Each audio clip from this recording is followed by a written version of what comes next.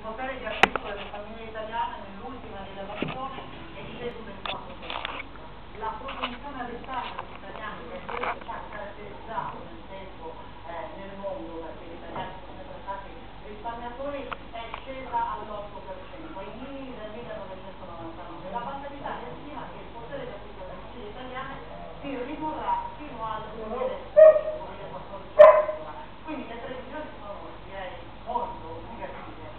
inflazione al 3%,